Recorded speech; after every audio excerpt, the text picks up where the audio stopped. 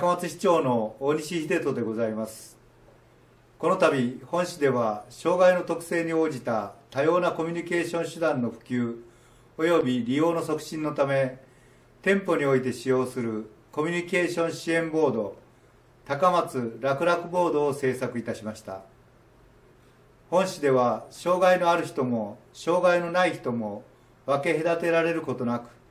お互いに人格と個性を尊重し合いながら笑顔で暮らすことのできる障壁のない地域共生社会を目指しております。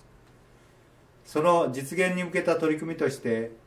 高松市手話言語及び障害のある人のコミュニケーション手段に関する条例を平成31年3月に制定しておりこの高松楽々ボードはこの条例に基づく施策の一環として制作したものでございます。高松楽々ボードの制作にあたりましては香川大学の学生の皆さんや高松中央商店街の皆様に多大なるご協力をいただいております。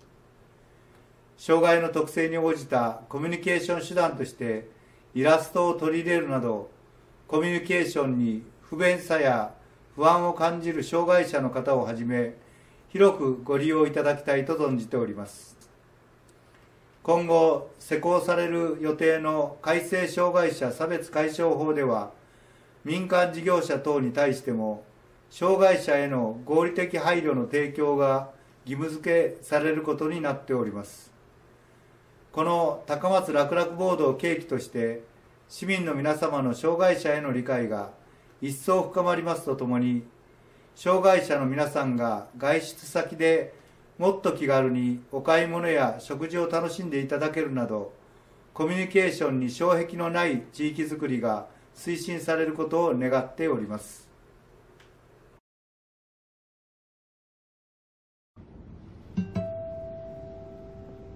お昼の特権ニュースです。地域の話題をお知らせします。高松中央商店街にコミュニケーション支援ボードが導入されました。その名も高松楽々ボードです。円滑なコミュニケーションを支えることを目的としており高松市と高松中央商店街と香川大学学生により制作されました。この高松楽々ボードの役割はコミュニケーションの困難さを解消することにあります。ではコミュニケーションの困難さとは一体どのようなケースが考えられるでしょうか？聞こえにくさや言語的な壁だけではなく音声言語によるやり取りが難しい気持ちを伝えることが苦手情報の処理ができない言葉がうまく出ないなど様々なケースがあります。この困難さを解消するためには高松楽々ボードを使ってやり取りすることはもちろんメッセージの受け取り方を工夫することも必要です。すぐに筆談ができるように紙を用意したりフリースペースを使って文字でのやり取りを行ったり写真や実物を見せて確認したりするなどが挙げられます。さらにそれぞれのお店に合ったボードへとカスタマイズすることも可能です。これから取材するお店では他のサイズは他の色は？という項目を付け加えて利用しているようです。では早速コミュニケーション支援ボードが導入された商店街の様子を見てみましょう。中継の長谷川さん。では早速お店の様子を見てみましょい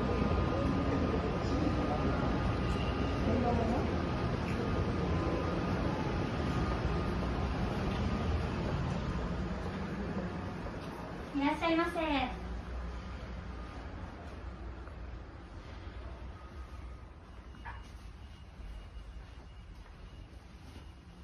お伺いいたしましょうか。何か困っていることはありますか？こちらの商品の他のサイズですか？他のお色ですか？何色ですか？よかったらメモに書いて教えていただけますか？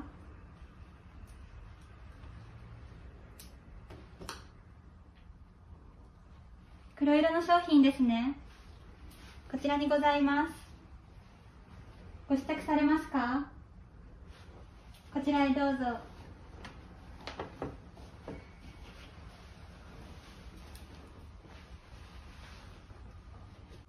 実際にお店ではこのように使われているようですね。こちらのボードは日本語と英語がセットになったものと中国語と韓国語がセットになったものの2種類が用意されています。この高松楽々ボードは障害のある方や外国の方などに限定して使うのではなく商店街を利用するすべての人に使ってほしいという思いで作られています。利用者に対してこちらのボードを積極的に提示しより快適に楽しく商店街を利用できるようになるといいですね。以上地域の話題をお届けしました。長谷川さんありがとうございました。コミュニケーション支援ボードが活用される場面が増えていくといいですね。では最後に制作者からのコメントを紹介します。年齢や性別人種や障害などにかかわらず全ての人が快適に商店街を利用できるようにこのボードを制作しました。それぞれが感じるコミュニケーションの困難さを少しでも解消する手助けとなればいいと考えています。しかしこのボードをただ商店街に導入するだけでは効果は発揮できません。